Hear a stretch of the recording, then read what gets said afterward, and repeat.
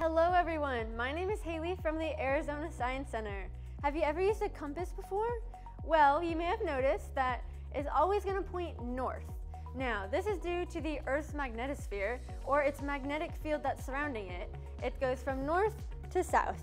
This is called a Lorentz force, which is something that we can recreate today to make one of us the first simple motors to have ever been created.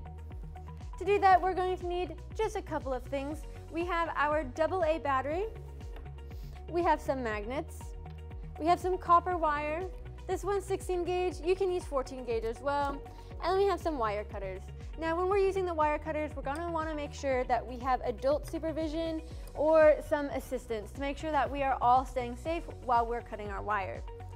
To start off, we're gonna go ahead and take a good maybe five or six inches of wire and just pull it around so that we can make our spinning portion. I'm gonna go ahead and cut this. And what I wanna do is I wanna take it around the center and I'm going to make a small V.